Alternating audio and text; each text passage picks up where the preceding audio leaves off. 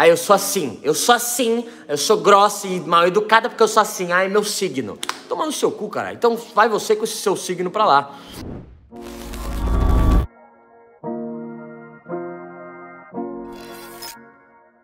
Fê Alves, qual a maneira de lidar numa situação onde tá um grupo de amigos, você tá vendo pela primeira vez e tem um cara bêbado que fala alto, atropela os outros, repetindo o mesmo assunto. Tá, vamos lá, clássico, né?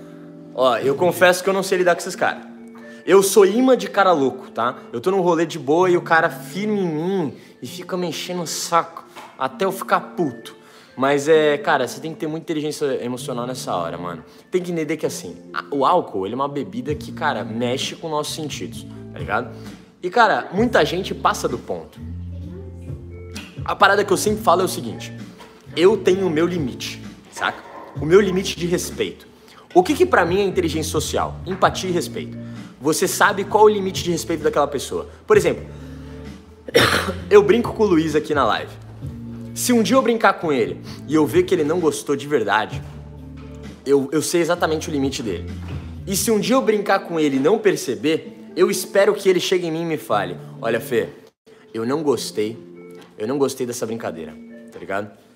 E, e eu vou aceitar e falar: Mano, Lu, desculpa. Por que, que eu tô pedindo desculpa? Ah, mas pra mim não, não foi nada. Pra mim foi uma brincadeira. Mas pra ele não. Ali era o limite do respeito dele.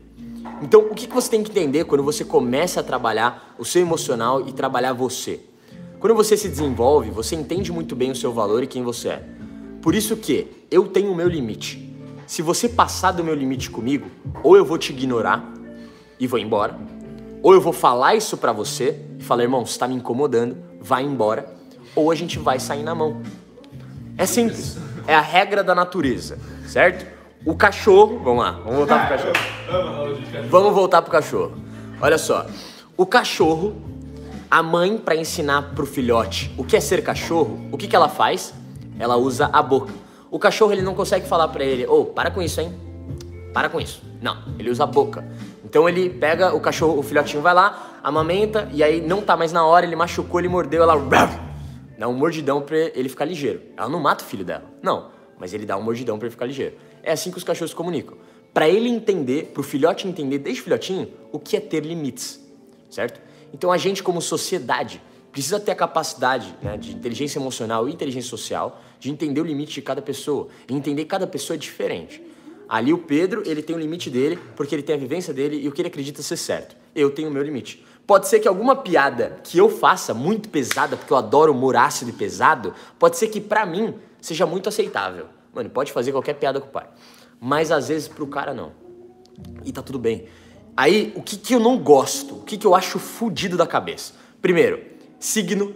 Pessoas que é, falam da personalidade dela baseado no signo. Ah, é, ah, eu sou assim, eu sou assim, eu sou grossa e mal educada porque eu sou assim. Ah, é meu signo. Toma no seu cu, cara. Então vai você com esse seu signo pra lá.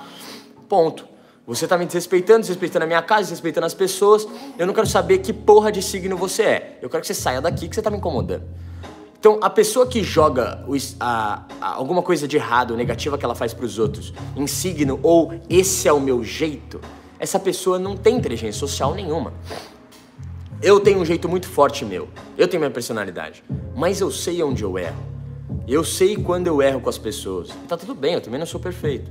Mas acontece que eu tenho essa noção. E só de você ter essa noção, você já é diferenciado.